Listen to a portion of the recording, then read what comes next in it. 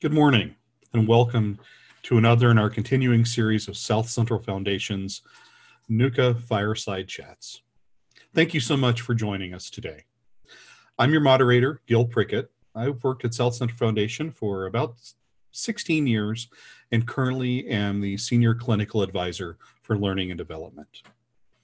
In response to the COVID 19 pandemic, healthcare is rapidly changing, including here at South Central Foundation. In these chats, subject matter experts from SCF will share some lessons learned and then open it up to you for questions and comments. At the bottom of your screen is a Q&A button. Here, you'll be able to submit questions or anything else you want to share, and I'll make sure to direct your questions to our presenters. After today's chat, we'll be sending you a quick survey. So please give us your feedback so we can improve the next chat. If you're having any technical difficulty today, please email us at scfnukaevent at scf.cc and we'll have someone reach out to you to help as we're able. Now, I'd like to turn it over to our panelists to let them introduce themselves. Our panelists today are April Kyle, SCF's Vice President of Behavioral Health, and Steve Tierney, SCF's Senior Medical Director for Quality Improvement. Hey, good morning. Uh, my name is April Kyle. Uh, I'll do a, a, very brief introduction first. Um, I've been with SCF for 17 years. Um, makes me feel old when I say that. I think I've sort of grown up here. Um, I am Alaska Native Athabascan. My family's from the village of Ninilchik on my father's side, and I grew up uh, here in town and also spending time uh, in Ninilchik. And you'll hear me speak about the Nuka system of care from the perspective of a leader, but also as a customer owner, as a mom, as a daughter uh, receiving care in the system. And good morning. I'm Steve Tierney. I'm a family physician by training. I arrived in Alaska to the Native Health System in 1995. Uh, it was right out of residency for me, and it was my first job, and I just haven't left. Um, uh, my uh, role now, though, has evolved into the Senior Medical Director for Quality Improvement because I was there with the team when we began to actually change to say we're going to go from the old system to the new system. So uh, I've been involved in some of the big moments where we decided to take a big paradigm shift. And and hopefully we'll discuss some of that today and what it means and how we approach new uh, threats or pressures or uh, things to adjust to. Thanks, Steve. So um, I think most folks who signed up for this webinar already know South Central Foundation and Nuka System of Care at least a little bit. Um, and so um, we have a slide up now that shares a bit about sort of our mission, vision, um, the structure of our organization, our value set. And I'm not going to, we usually do a whole hour on this, and I'm not going to do that. Um, I do want to share with you that we are proud to be an Alaska Native owned healthcare system. So we are community owned and we believe in multidimensional wellness. So physical, mental, emotional, and spiritual wellness for people, families, and communities. And so that drives our service uh, delivery model. Um, and we'll talk a bit more about that, but just knowing a, a, little bit about SCF creates some framing for the conversation today. So, um, you know, we thought about what were the principles, the the foundation that helped us in our approach to responding to COVID 19. And um, this is a quick list. I'm not going to read this to you, but um, we're framed by our structure for leadership and how we lead um, by our clinical operations, how they existed and how they needed to change. Uh, same for business operations and infrastructure, and then with a lot of focus on uh, on workforce. So as we talk about our approach to um, transitioning our our care to our current reality, you're going to hear those themes um, in the presentation that Steve and I uh, do. So um, just a few things about the Nuka system of care, and we're going to start with um, our response on the medical side. And so, Steve, I'll pass that over to you. So, what we did way back in the day when I showed up in 1995 is we had an old way when things would not go well. You know, uh, we would say, okay, well, here is how it works for us as medical professionals to do the work that we're going to do. And we will explain this to the consumers that we serve. And we'll say, here's how often we're open. Here's the appointment times. Here's how we're going to work. Here's how you make an appointment. And then when it wouldn't go well, how we would manage this is we would, for instance, get a navigator because it was failing, you know, or we would get a scribe because it was failing to do something, or we'd add, but we wouldn't change what we were doing. We would just add things on top of it. Well, in the sort of takeover by the community, we actually started to say we need to think differently. And so I like to go back to that, you know, to say we still do this 25 years later. We uh, have a new problem that we, you know, have to focus on. And in this case, back in the day, it was how do we work more efficiently for the consumers that we serve? So what we did was we set up, instead of trying to fix it with more effective referral processes or intake processes or things like that, why don't we fix it by putting people together where it makes sense to put them together? So what we did is we recognized that there was a lot of people that, you know, referred to each other all the time. Why would we have them in separate buildings with a separate intake process? And what we have now is an integrated environment uh, that puts the primary care providers, the midwives, the pharmacists, the behaviorists, uh, the case managers, um, and this, you know, in, in, a specialized sort of environment where they all could essentially leverage each other in real time for the customers that they serve together instead of being professional silos. And I think, you know, that original thought process has informed when we have new problems to solve. Installing electronic health records, uh, responding to a government shutdown, uh, or in this case, COVID 19.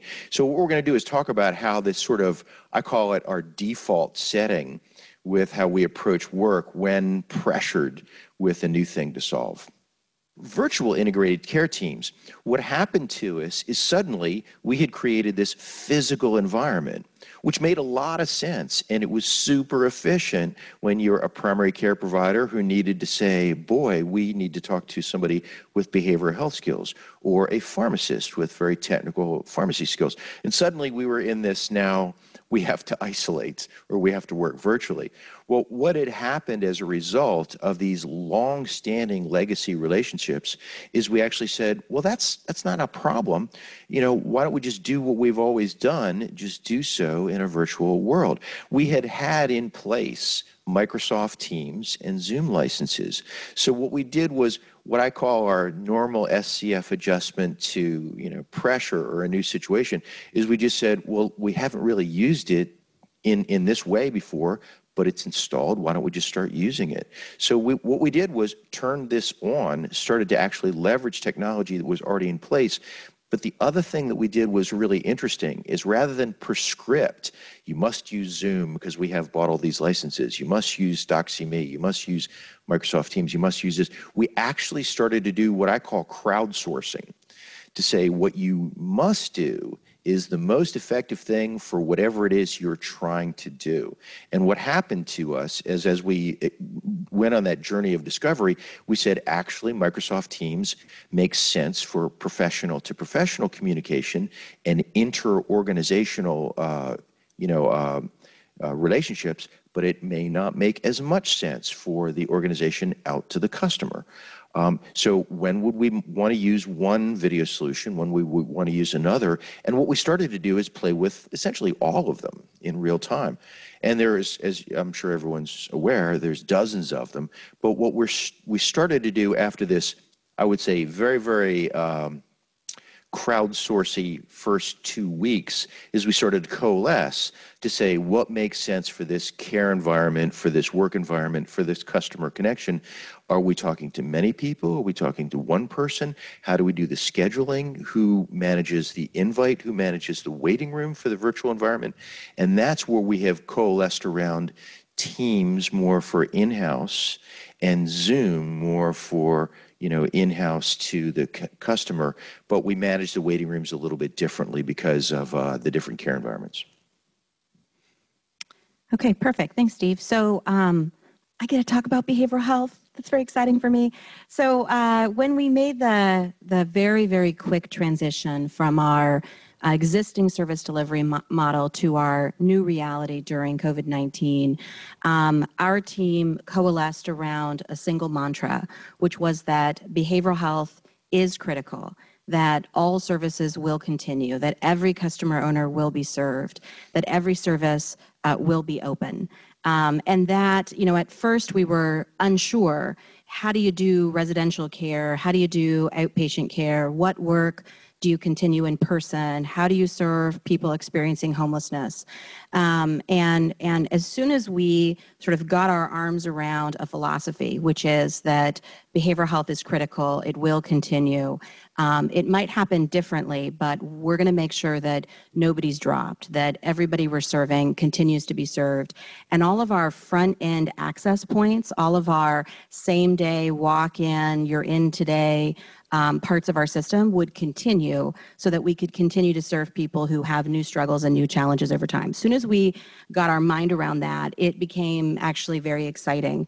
Um, we empowered um, people and teams in our um, behavioral service delivery to come up with solutions to best meet, uh, meet the needs of the customer owner or family that they were working with. Um, and those solutions were varied um, all across our system. So um, most of our outpatient services transitioned to employees working from home um, serving customer owners who are also in their home environment. Um, we had a variety of ways in which that service delivery happened. Um, very quickly, we moved to phone services. We then transitioned to add video. And um, one of our big lessons learned was that there isn't a sort of a corporate decision that can be made about the best way to deliver care. Um, the best decision we could make was to empower teams to figure out the right intervention, um, the right service delivery model for that family right now. So for some families, um, video worked great. For other families, there may have been a technology barrier or a bandwidth barrier, um, or just people are uncomfortable looking at themselves on a screen. I'm uncomfortable seeing myself on this screen right now. And so that may be a barrier to being very comfortable in um, really sitting in and, and experiencing your behavioral health uh, care. And so um, I think one of our big lessons learned was being able to empower teams to be creative and and to come up with um, solutions. So some of our lessons learned as we um, did that um, for me as a leader was um, to be very clear on the philosophy, um, but to really empower employees and customer owners to innovate. We learned that we actually can deliver a lot of care virtually. And if you look at our encounters for outpatient services, they've actually increased during COVID 19, not decreased. And for behavioral health folks who may be watching, that shouldn't surprise you, right? There's a lot of uh, need in our family and communities right now for behavioral health care. Um, but some of that was for very practical reasons, like um, no show rates going down uh, because barriers to accessing care are removed. So, our biggest barriers in behavioral health are transportation and childcare. And if you can deliver that service with a customer owner at their location, wherever they might be, um, then you uh, remove some of those barriers. So, that was an important um, lesson learned for us.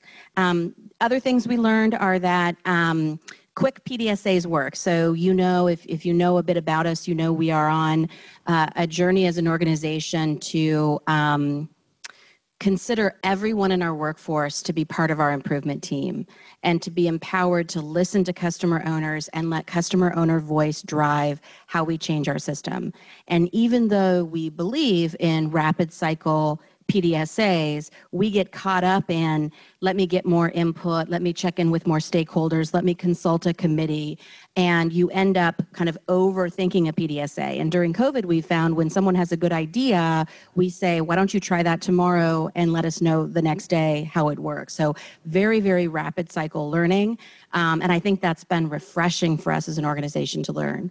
Um, other lessons learned are that kids really like technology. So in our congregate living settings, in our residential programs, we uh, very much limited um, visitors and uh, and replaced in-person visits with iPad visits.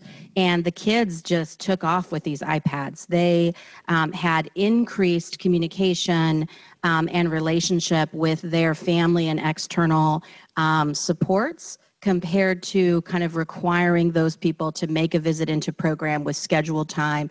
We could make sure that we um, just did that virtually. And I think that that's a part of our system that we will um, hopefully keep over time. Um, and then lastly, I just want to comment that one of our important lessons learned about doing work virtually is to recognize that virtually isn't always the best solution. So, in youth residential care, nothing replaces a hug from mom. And we've got to figure out how, in our current environment, to mitigate risk, but also ensure the wellness of kids and families. And sometimes that closeness is important. Um, I'll give you one other example. We have a, a program called Quyana Clubhouse. It's a day program for adults with persistent mental illness. It's located downtown by the shelters uh, with folks who have a high risk of homelessness. And um, because of the intensive services that we do, most of the people were served are housed, but their housing is usually congregate living where they weren't able to leave and enter treatment. They were in uh, pretty close lockdown in their facility. And as we worked with the directors of those programs, we found that there really was a need for our customer owners to spend time together. And we have a, a model in our system called learning circles where we create space for customer owners with shared experience to be together, to learn and grow from each other. And so for that population, virtual learning circles weren't as successful. And we actually ended up creating in person learning circles on the property of the assisted living facility, sort of in the grass. Can you picture the grass, the manicured area, with chairs that are, you know, 10 feet apart, with four or five customer owners coming out, sitting separately, but still being able to engage with each other and with our program, supporting them in the best way possible. So, may not be what you expected me to say about virtual delivery of care, but it's important to know when it isn't the best option. So, I think that um, Steve and I have tried to give you a brief, informal picture of what we've done around virtual delivery, um, how we based that on the existing sort of values of our organization, um, our lessons learned. Um, but we also wanted to spend most of the time today just in dialogue as a chat. So I'll turn this over to Gil and uh, move to questions. Thank you, April. Thank you, Steve. We've had several questions come through thus far. And um, one of the first ones uh, um, is, and what were some of the challenges that we've experienced as a system in moving to more phone or audio or in some cases um, video visits? What are some of the challenges that, that that have come up that maybe we didn't anticipate? It was it was really interesting because the assumption was we should do video. And the reality was a lot of the people that we wanted to interact with uh, didn't want to show their face or their living room uh, to us based on you know what was happening you know at the moment. Uh, they actually preferred the phone. So what we did was something i say we, we kind of always do. We don't let committee structure. We don't let the billing cycle. We don't let the regulatory cycle be the default strategist for design and improvement. What we actually do is allow the workforce to say what you need to do is high quality uh, care with the customer as an equal partner and to say we will create infrastructure to support that. So what we did was in the front end, we built a audio visit, a video visit, and then the old school, essentially real-time visit. And we said, you will use these as opportunities to interact and you will ask the customer how they would prefer. But what we did was made it so that it was easy to fluidly shift back between I'm going to decide I need to see you physically, I'm going to do a video with you, or if you don't want video, that's fine too, because we've built an infrastructure that allows that. Well, then we also had to think about in, the redesign uh, you know, space is, well, there's also a lot of sort of ongoing care that is not COVID related. And we can't ignore the fact that that still needs to happen. So we split the building into a respiratory, you know, floor and a uh, care as usual floor. So we didn't have to cross potentially risk contamination or exposure unnecessarily, but we had two separate entrants for the respiratory floor as opposed to the care as usual floor. But we went a little further. We said, well, there's certain things that are very important to continue to happen injections for periodic medications, uh, vaccinations, blood draws, or testing for COVID. What do we want to do? Do we want to bring you in the building? Do we want to risk, you know, exposure and contamination, or do we want to manage this another way? So we set up what we called uh, sort of uh, alternative support clinics, where we'd have fully PPE protected workforce in sort of a tent area where we could do a number of things. We could A, test you for COVID, which we would just do exclusively in these uh, sites. B, we could actually have drive through pharmacy where we could actually virtually, you know, we could pick up your meds and not come into the building, or we could draw your blood, give a vaccination, you know, because those things were important not to lose track of uh, particularly if you're taking your periodic Haldol or, or, or, injection like that. We don't want to stop that, but we also don't want to risk unnecessarily the workforce or the uh, consumer base um, with exposure that was unwarranted. Um, but I think what we've learned from this is it's really interesting. Why would you ever stop doing drive-through pharmacy? Uh, why would you ever stop doing drive-through vaccinations? Uh, or you know, and then how would we think about moving forward? Because today it's summer in Alaska, but in February that's probably still a good thing to do. But we might have to have some environmental adjustments to that. So we're we're in the process of thinking, wow, some of these are keepers forever. Some we will adjust, but how do we move forward? So, Gil, I'll add a couple of other challenges to delivering care virtually, in addition to what uh, Steve just shared. Um, one is, and Steve, you touched on this, people, whether they feel comfortable with their picture on a video. And so as we deliver care through learning circles, one of the things we've struggled with is what does it look like if you have a learning circle with eight or 10 people and half the people have their video on and half of the people don't? And what is the level of sort of comfort and trust and feeling assured that you're there with a real person who is in sort of a social contract with you to keep what's said in that learning circle um, as part of care delivery between that group.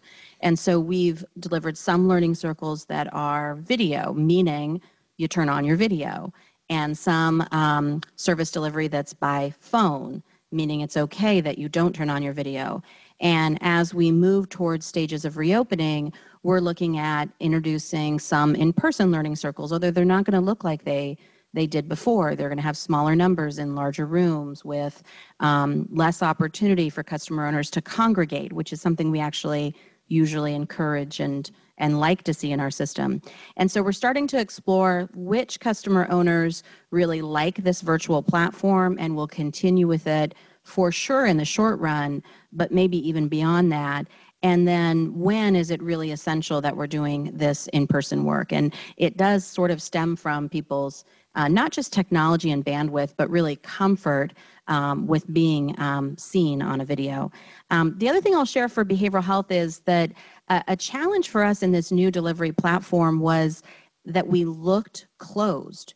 So if you drive by our building, it appears that there's nobody in the parking lot, and therefore you'd think that behavioral health is shut, when actually behind the scenes, we're delivering more care than ever. So that was fine for the customer owners who are currently in services. So for services to continue, we could call you and say, hey, Steve, um, I know that you plan to come in next week. We're making a transition. What would you like to try? Phone, video? Um, does the time still work? And we could make an individualized plan with Steve. But for folks who are reaching out to behavioral health for the first time and they see that empty parking lot, they might not know that we're still in business. And so this message that behavioral health is critical, that we're here, that you can reach out to us and that we're open has been a hard one to figure out how to message to community. And and usually a lot of those referrals come from our primary care hub where folks are receiving sort of brief intervention model behavioral health and identifying need to be referred to specialty care. And as volumes decreased in that environment of primary care, it was hard to make sure that we were serving folks who needed specialty behavioral health. And I think we've come a long way um, kind of in the weeks and months at figuring out how to sit in relationship with community and make sure that we know that we're open and that we're here. Great, thank you both. Um, kind of piggybacking on this theme of how do you start to talk about how do you create buy-in for some of this and how do you make sure that people are aware of what's going on there's a question about how do you build trust and relationships virtually and connected to that is a is a question about how do you create space in a vir, in a virtual format whether it's a learning circle or something else that feels as safe as a as one might feel in person. Uh, what kind of changes need to be made to address that? The, the thing that was interesting for us is since we already had uh, a very long 20 year legacy of this relationship based care that was highly integrated and sort of a, an expectation by the community to say, if I need to have behavioral health support, I won't leave, I'll just wait and they'll come in. Or pharmacy, or, uh, you know, now I'm newly pregnant, I need to see someone for you know prenatal care and the midwife will merely join me so we we already had that fairly well in place and and now in retrospect you know that helped us a lot um, because these were not new relationships as we moved to a, a virtual environment so i I guess we, we may be a little bit out of our depth to say if you didn't have that in place, how would you approach that? Um, what I would say is uh, in every case, we have not let the revenue cycle be the uh, default architect of change because you can get stuck in that. You can say, well, we're not going to get paid for visits that are on the phone, so we won't do them. Well, what we said is, what's the right thing to do and the most efficient thing to do? And that seems a little scary because before COVID, we did not get paid for phone visits, yet we probably did three times the volume of phone visits per week that we did in person visits, of which we would get billed. And, and that made it easier for us. But now that we get paid for them, we, we, we like having the opportunity to do so, but we continue to design to say what's the most efficacious thing for care. Now that's scary because your CFO is now going, oh my God, you're going to do a lot of work and not be able to bill for it. What we learned is when you reduce overhead, it actually helps you more. So about 73% of your total net budget per year is overhead spend. It's managing the inefficiencies of transfer from one department to another department, of an intake and all. As you remove those barriers, as you make it easy for the customer to navigate them, you actually save money. So while you bill out less, since you actually saved more, you end up being a more lean, more efficient company. So it seems like on the face of it, if you just looked at revenue, you know, doing phone all the time is a bad idea uh, and we learned is it's actually an efficient idea that makes the other things easier when we have to do them. Uh, but it means we had to essentially say we're not going to let the revenue cycle dictate how we design, how we move forward, how we interact with the customer. We're going to let the customer do that. Yeah, I, I think that, Gil, the word trust is an interesting one. And you know, you might have a tendency to think you build trust by being right and people being confident that you're right. And our approach is the exact opposite of that. Mm. It's to have spent decades in relationship with community to say, as health care experts, we, we don't know what's important to you as people, as families, and as communities. And what we're going to get good at is listening. And um, that that's our core competency. It's sitting in relationship with community, creating space for community to have voice, listening to community, and then responding, innovating, changing, showing community how we responded and asking them, did we get it right? Is that still what you need? How did that feel? Is that how you want your auntie to receive care? And then redesigning as we go. So if you follow that way of thinking that trust isn't about being right, rather trust is about sitting in real space with others and them knowing that you're listening to them and you're redesigning based on their needs and you use that model as you transition into COVID, it means that we walked with and in partnership. We didn't tell or do. So, one example of that is we had um, a lot more um, tribal leadership health council meetings. So, in a lot of our communities where we deliver care, um, that tribal government sets up a health council that becomes the local governance of the healthcare delivery in their community. And those community leaders are looking at the news and saying, What are we going to do about this thing called COVID?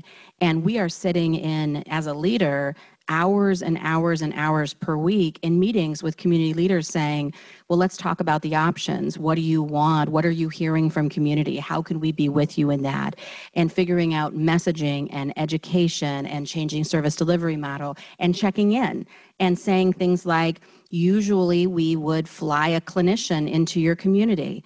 Um, do you want people to be flying into your small community right now? Or are you choosing to restrict travel? And if you are, let's talk about service delivery and how do we respond to a crisis in your community? And what does that look like in person or from a distance? How does our work become supportive of your natural community healers versus us coming in and delivering care? And knowing that we're not going to get that right, but we're going to we're going to ask you what do you want that to look like for your people and then respond and know that we're going to have to learn as we go. And in my mind, that's what trust is. Trust is sitting in relationship with people, not being sure that you're correct. And that has to happen at a at a macro level as leaders, but then also empowering teams in the system to do that same thing at a micro level with a family and saying, you know, um, we're starting this Zoom thing. We think it's you know, it's better care to be able to see each other in person. We'd like to try it, but what do you think? And does that work for you? And, you know, we had parents say, I only have the one laptop and I'm trying to figure out how my kiddo can use that laptop for school, but I have my phone. Can we do it on my phone? Maybe it's easier just to call and us saying, well, what is better for your family?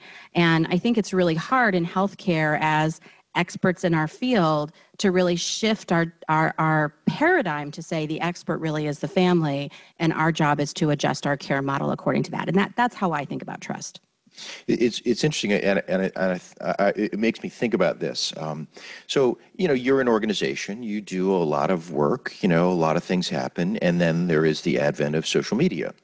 Does everything work perfect every single day? And the answer is, of course not. Do people have problems with what's going on? Yes, they do. But what Miss April is talking about, this long habit of always engaging with the community, always making it most convenient for the customer, recognizing as an organization that's actually margin, operating margin positive, although it may make your total net revenue a little negative. But here's what it buys you. When things don't go well and somebody goes on a, how shall we say, you know, uh, you know, uh, social media, you know, rant about, you know, how they feel about it, our biggest defenders actually are the consumer base. They're the ones, not the leadership, not the CEO, not the leadership, uh, you know, jumping in and saying, well, here's it. It's our customer base who actually say, you know what, every time I needed something, they would find a way to get it for me and they wouldn't make me fit into their model of if I wanted a refill for my medicine, I had to drive 40 miles, make an appointment, show up, and talk to somebody. They said, It's really hard for me. It's winter, it's Alaska. It's not the best time to drive that distance. Can you help me? And we said, Yeah, we'll mail them to you. Is that okay? And we'll do that interaction on the phone. So if you're willing to do that, if you're willing to join with people, what they end up doing is joining you back on the other side say these are this is an organization that helps us. We value its service. And and yeah it's not perfect but you know they were there for me so we think we should be there for them. Thank you both. Um, one of the questions that that came up uh, um, i think in response to the the previous discussion was around the role of alaska native culture um, in SCF's response to COVID 19. Um, April, you mentioned, you know, in the, there were there was a lot of consultation with and partnering with our, our tribal partners, the tribal councils, et cetera. I know that um, you know the way that we historically, as an organization, have engaged with our community, the customer owners whom we serve. Um, that's something that that that I think is very important but I'm wondering. Um, I think the question that that comes from from Sophie, who asked this, is: Are there things that we can say that are that are specific to or are unique to the to Alaska Native culture or cultures of the communities we serve that have influenced the way that we as an organization have responded to COVID 19? So I'll share a, a couple of, of thoughts about that. I, I'm always stuck on the questions about kind of how our work is driven by Alaska Native culture because I, I get caught up in, well, how isn't it? You know, it's really hard to say, well, culture is that we, you know, fished last week. I mean, culture is really in in everything that we do. It's about um, us thinking about our elders program and leaning on our um, elder advisors and our elder advisory council um, to guide us in our response to connecting with and supporting our elders through this. And um, we know that we can't have elders, you know, gather for uh, a dance or a potluck. Um, but what we can do is make sure that we're doing home visits and that our elder providers are doing phone calls and technology when elders when elders enjoy that um, and thinking both about um, sort of how we deliver food and and and care for and love on people, but also how we um, create enough connections so that we can identify if there's a red flag, if we've got somebody who's struggling, how we can take care of the sort of mental and emotional and spiritual wellness of that of that family and pull in other resources um, if needed. Um, I think in our uh, youth residential programs, we very quickly eliminated um, outings that were to places of um, places in the public. So anything anything that you might do where there would be lots of people, you know, was quickly out. But actually that was kind of fun because the kids did way more skiing and sledding and um, and uh, camping trips and uh, things that are kind of connected to um, our land and our physical environment. And i mean that, that those are sort of the best outings anyway. And so replacing some of the other outings with more of uh, things that are tied to to our place um, has been uh, very positive um, I think for SCF, um, the fact that uh, tribal leadership uh, creates uh, the voice that governs how we do our work um, I'm I'm actually jumping off this to have a call with two tribes about addiction in their community and the work that we can do with those tribes to partner with people as they're on their journey when that journey includes um, addiction. So um, that kind of work, that kind of connection to tribal leadership drives every everything that we do, and it makes it hard for me to say, well, you know, we made sure that culture happened, you know, at three o'clock on Tuesday because we had a culture learning circle. I mean we we do we we bead together. We um, we eat together. We um, we share story with each other, and those have all become um, not one-offs, but rather incorporated into um, how we deliver care and how we change our care delivery model over time. And, and you know, I mean, I'm struck by this. You know, you know, because people will will tell us they'll say, "Well, you're a native you know organization, you're a native hospital, you deliver care to a native community. Uh, I'm not sure that's really fully accurate. We, I mean, not that it's not. We, we certainly do. But what we do that's different is it's not about being native or non-native. It's about showing up. You know, what we don't do is we don't come up with a corporate strategy and then deploy it and then do feedback surveys and make it about, you know, a survey process. What we do is show up. You know, I mean, to go to a community or to talk to a community. But I don't think this is unique or only applicable to Native communities. I mean, I grew up in Baltimore. If you go south of Pratt Street, that's a German community that used to work at Bethlehem Steel. If you go east of uh, or uh, east of uh, Lombard Street, that's Little Italy. It's an Italian community. But I will tell you, without naming it, a very famous hospital in Baltimore uh, has decided their version of integrated care is to surround you with a fully integrated care team after your admission to the hospital because that's strictly controlled. Uh, we would never do that we would say how we learn about you is not through a customer service survey, not through some sort of, you know, poll that we put online, is to physically show up and say, we're in your community, we're in your safe space, tell about tell us about what that's like. Now, we do it in a, in a tribal environment, but I don't see where that wouldn't be any different in Detroit or in yeah. Chicago. I think that's a great point. I think when the more that I have traveled and worked with other healthcare systems and communities um, who are looking at the Nuka model and who we're partnering with, and the more I talk about this multidimensional wellness and learning through story and um, um, connecting with our elders and connecting with our youth and investing in our youth and kind of all of these things that that are for us our culture they're really they're really human values. Mm-hmm. and there are things that are very unique for our people and there's power in us owning our own system and um, doing the types of things that matter to us as people but that concept it isn't unique to alaska native people in fact it's quite it's quite transferable. Can I just give one just really cool example? So the um, Executive and Tribal Services Division is harvesting right now, um, and they're they're harvesting with distancing uh, birch bark, and we're figuring out how to do our youth raise program virtually. And we've never done that before. And I don't think we think virtually is our favorite way to do it, but we don't want to miss an opportunity in the lives of our youth.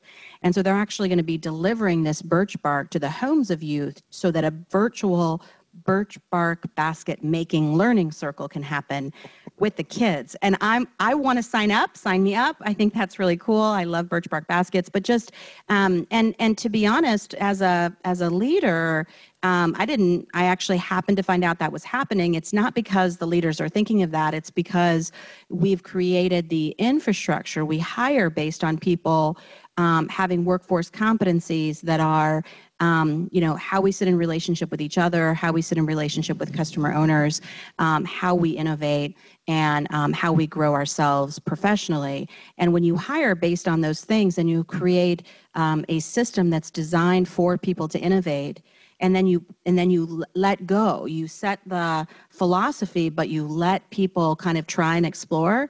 Those types of examples like birch bark basket make, making they blow you away because it's something we've never done before that takes sort of a, a it just takes somebody saying i don't know will this work? Let's do it.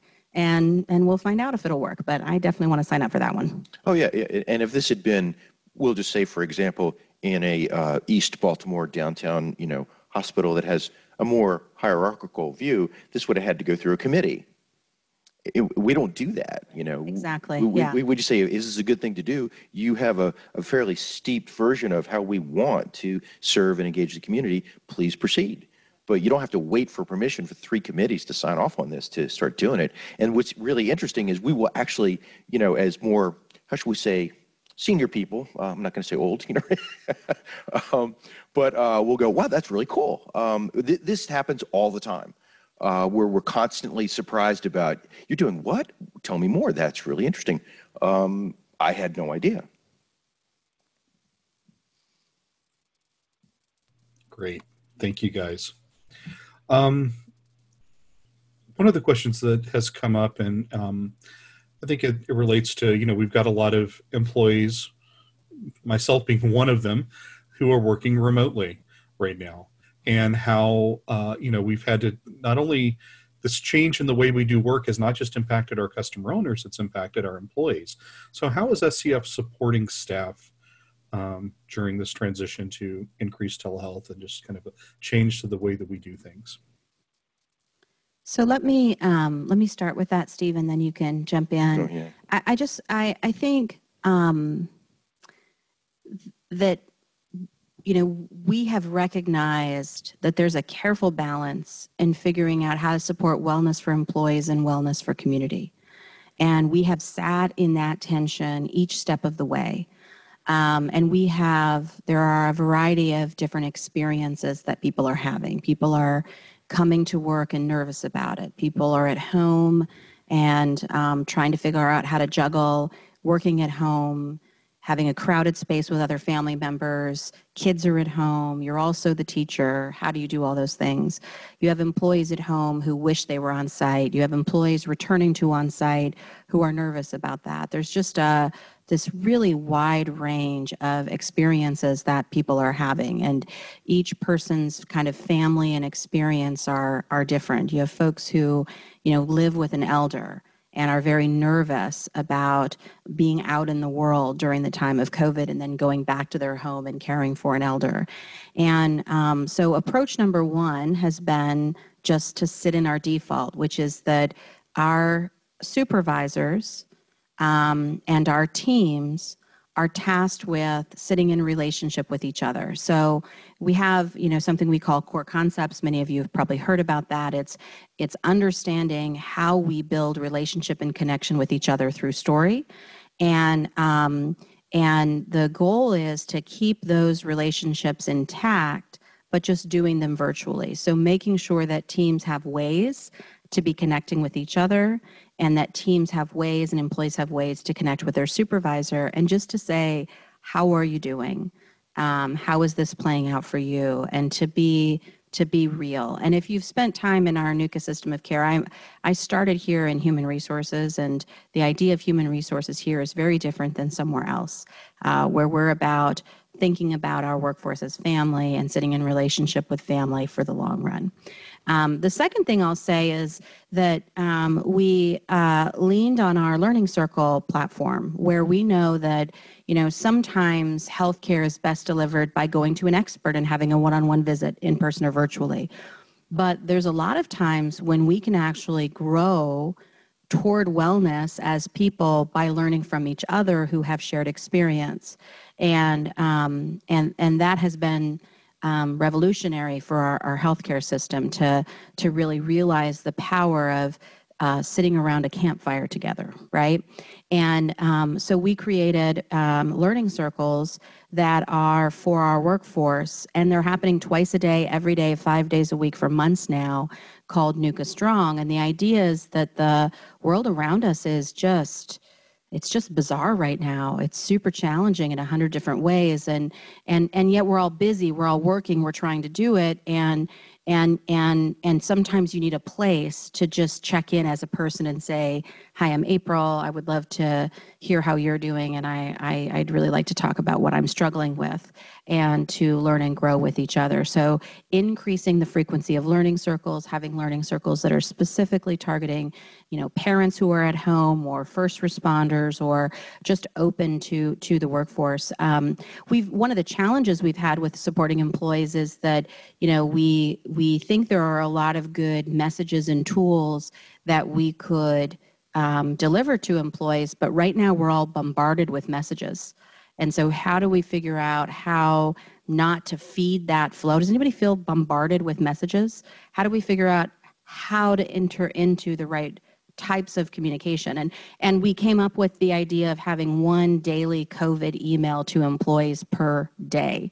And that has kind of all of the clinical information you need to know, the changes that are happening in the organization, um, what's happening in the primary care setting, for example, as you might work in another part of the Nuka system of care, you need to know what's happening. Left hand needs to know what right hand's doing. Um, and every day, um, as leaders, we empower the different parts of the organization to feed into that daily email announcement. Um, and then that is um, coupled with messages that come from our CEO. So our strategy has been to communicate, communicate, communicate, and uh, and and and those emails are frequent, and so we have to remind people to please read them because there's a lot of them. But overall, I think it's better to over communicate rather than under communicate, and that's been our strategy. What's interesting is is what we wanted to do is we recognize this. Um, you get in this sort of revenue centric model where you have waste in your organization and rather than address that waste you pursue revenue to essentially compensate for that waste. So we recognize when you have people that are working with the organization that so get the mission and vision of the organization that they can come up with a birch bark making you know virtual thing. I mean these are a capital resource. These people are a capital resource. Losing them is super expensive because it's really costly to advertise vet interview orient and then fully steep somebody in the Nuka philosophy you know to work in a fully integrated environment the way we have. So th- these these are far more valuable than buildings and cars than, than anything. Losing them uh, is paramount to losing revenue waste is paramount to losing revenue. So, how can we reduce waste and retain people? And it means that we need to adjust to say, you're valuable, we want you to stay, we will find a way forward to keep you safe but to protect you, to not make you suddenly job hunt, because it's easier for us for you to get your money from unemployment than it is for us to retain you and then adjust to the reality as it is. Uh, because if we have to take a hit for a little while, well, then we take a hit for a little while. But then our ability to come out and emerge from that stronger than ever with a fully retained staff who is now uh, who, has got a clear message that the organization is here for you and wants to help you. Uh, now that actually has additive effect over years of doing that again and again and again. So I, I can't understate how important that is. You got to look at these, or human beings are are are a resource. Protect them. Thank you. We've got time for a couple more questions, and I'm going to try to try to um, combine some questions here in the interest of, of getting as many folks uh, the information they were asking for as possible. One of the questions that came up a couple of times was uh, what changes, if any, have been made to the way that remote care is delivered? So, um, folks may or may not be aware, but, but in addition to all of the customer owners that we provide care to here in Anchorage and the surrounding areas, we have a large number of customer owners who live in remote villages and remote sites around the state that we provide, care to. And how has that changed uh, during the current COVID 19 response? Well, what we did years ago eh, with the uh, village care is uh, we actually said, should we bring you to the experts or should we have the expert move to you? Um, so years ago, we recognized in Alaska the distances that we have to deal with and the waste that we create by flying you in from an island 400 miles off the coast of Alaska to announce to you that your blood pressure is elevated, give you lisinopril, and then send you back to that island was a ridiculous waste of everyone's time and super inefficient. So what we did many years ago was we said, why don't we hire somebody in your community, invest in them since they already live there, and then now connect them to a supervising provider, be they behavioral health, dental, or medical. And we have actually all three, uh, where we will leave you in place. Well, what that means is now in a world of, you know, informed by COVID, is it means that your movements uh, doesn't necessarily, your, your lack of ability to freely move as you would in the past, doesn't necessarily negatively affect your ability to get access to information about how your health changes. You can remain in your community because we've sort of built that infrastructure. Um, but what we also had to do is to think, well, we used to sometimes fly you in if we wanted to do a more extensive, you know, uh, intervention. For instance, colonoscopy. We're not going to do colonoscopy in a small village of 200 people on an island in the Aleutian Chain. We're just not going to do an elective thing during a time like this uh, because we would normally fly you in to do that. Um, so what we did have to do is accept that we're going to postpone some stuff. Uh, so we're keeping a very careful eye on things that we need to catch up on. Uh, that we are unable to do in a village setting to connect. But we're also uh, got enough of an infrastructure in place to say, but we will keep the wheels on things like refilling your meds, drawing your labs, because your blood can be drawn in this small village and sent in for review by the supervising provider. Rather than have you move, your blood sample can just move. So um, I, I, think what we've tried to do is find opportunity where it exists, but don't pursue it where it adds more risk than it adds value. Mm-hmm.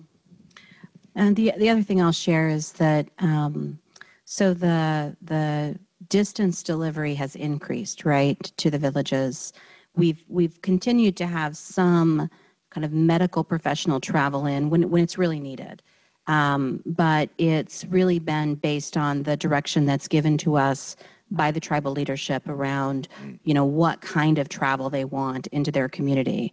And, um, you know, w- one thing I'll say is like for behavioral health, um, most of our communities will have a clinician on the ground in their community two weeks a month. Um, and when that clinician is there, they can check in with the school. they can check in with the tribe, they can check in with the clinic and get a sense for sort of what's happening in the community and then, you know, sort of figure out who they want to have coffee with or have tea with and and check in on um, and deliver care with. And when we're not traveling there in person to actually have our own eyes on the ground, we're relying much more on the relationship we have with um, natural community leaders and, and asking them. So, setting up Zoom, setting up phone calls to say, gosh, we can't deliver behavioral health the way we did before. Um, how's it going in your community? What, what's working? What's not working?